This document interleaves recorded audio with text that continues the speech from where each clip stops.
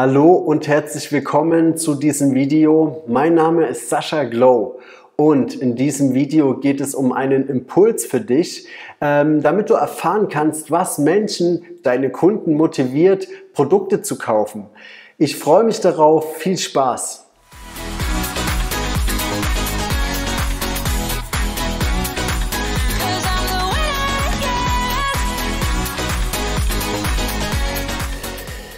Ja, im Grunde genommen sind es zwei Faktoren, die dafür sorgen, dass Menschen in eine Handlung kommen und motiviert sind, Produkte zu kaufen. Das ist einmal hinzu, also der Weg, ähm, die Freude zu erreichen, Glück zu haben oder weg von. Und das ist der äh, Weg oder das Ziel, Angst und Schmerz zu vermeiden. Diese zwei Möglichkeiten motivieren die Menschen, dabei etwas zu tun wohingegen das hinzu, etwas äh, zu bekommen, meistens eher ein nice to have ist und äh, wo man schön äh, das Ganze ja mit Freude bekommt und dagegen das ähm, Weg von, also den Schmerz zu vermeiden, ein viel größerer und stärkerer Hebel ist in der Motivation, jemanden zu motivieren, dein Produkt zu kaufen. Ja, und im Grunde genommen kann man das Ganze recht simpel auch sogar noch in ja, Zahlen packen. Ähm, das hinzu, also die Motivation, etwas Freudiges zu erreichen, ist im Prinzip so wie der doppelte Faktor, den es ähm, ja, Menschen erlaubt, ähm, eine Handlung auszuführen. Und das Weg von ist dagegen ähm, ja fast schon das drei- bis fünffache an Motivationsfaktoren, die du ähm, bekommen kannst, damit jemand dein Produkt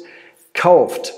Ähm, ja, du kannst an dieser Stelle mal überlegen, okay, was sind denn Sachen, die Kunden mit deinem Produkt vermeiden, nicht mehr haben oder was sie verlassen können, ne, um vielleicht Sorgen, Angst, Schmerzen oder ähm, ja, gewisse Wehwehchen loszuwerden. Das muss nicht immer der Gesundheitsfaktor sein, ja, ganz wichtig. Das können ganz ähm, ja ähm, teilweise banale Sachen sein, aber äh, diese Überlegung und das herauszufinden, was eben da ähm, ja die Menschen, den Menschen ermöglicht, ermöglicht, die dein Produkt kaufen sollen, was sie damit vermeiden können. Das ist eine Möglichkeit für dich, einen sehr starken Hebel anzusetzen, dass Menschen auch äh, motiviert sind, dein Produkt zu kaufen. Da kannst du mal hinschauen. Oder du guckst einfach mal dahin, ähm, was, was kannst du Lustvolles ähm, einbringen. Ähm, das kann auch sehr gut einfach nur in der Kommunikation sein. Ne? Was kannst du Positives einbringen, damit Menschen, die dein Produkt kaufen, auch im Wert der Marke, im Wert der Produkte, die du darüber hinaus mitgibst, jetzt nicht nur das Haptische, ne? was kannst du da